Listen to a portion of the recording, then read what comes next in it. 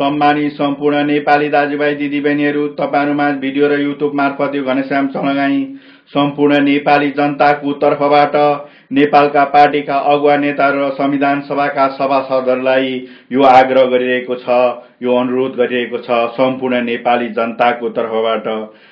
सम्मानित नेताजीहरू सम्मानित सभासदज्यूहरू नेपाली जनताको संविधान चाँडोभन्दा चाँडो घोषणा गर।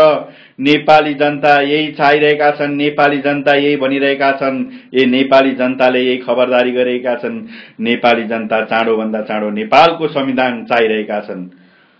तपाईँहरूले राष्ट्रिय सरकारको नाममा नेपाली जनतालाई नलमल्याउनुहोस् तपाईँहरू आफ्नो कुर्सीको मोह र कुर्सीको चासोमा कुर्सीको महत्वमा नेपाली जनतालाई अल्मलाएर नेपाली जनतालाई अन्धकारको बाटोतिर यो यो अन्तिम घडीमा नलानुहोस्। नेपाली जनता नेपालको संविधान चाँडोभन्दा चाँडो चाहन्छन्।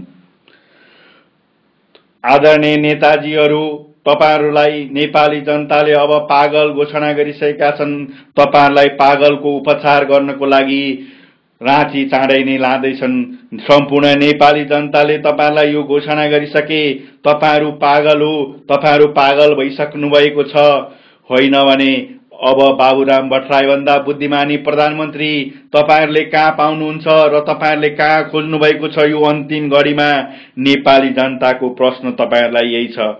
यो अन्तिम संविधान घोषणा हुने समयमा तपाईँहरू सरकारको फेरबदल गर्न विभिन्न बहाना बनाइरहनु भएको छ।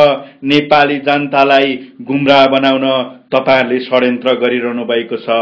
नेपाली जनताको सर्वोच्च शक्ति र सम्मानलाई तपाईँहरूले नेपाली जनताको सर्वोच्च शक्ति र सम्मानलाई तपाईँहरूले अपमान गरिरहनु भएको छ। नेपाली जनताको संविधान चाँडो घोषणा गर्नु भएन भने नेपाली जनताले अब तपाईँहरूलाई त्यो कुर्सीबाट उठाएर पागल खानामा लगेर उपचार गराउनेछन् तपाईँहरूले यो बुझ्ने बेला आएको छ।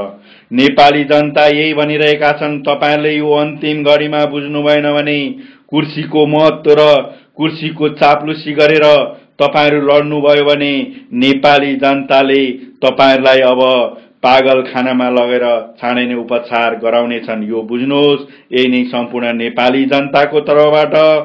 तपाईँहरूलाई चेतावनी छ तपाईँहरूले यो बुझ्नु भएन भने तपाईँहरू चाँडै नै मसानघाटतिर जानुहुनेछ। धन्यवाद।